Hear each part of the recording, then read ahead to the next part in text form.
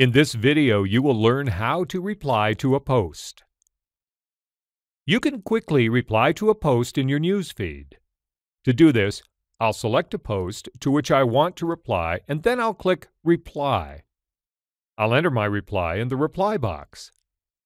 You can also notify specific people about this reply and include a file along with it. For now, I'll simply click Post, and you can see that the reply is added to the post.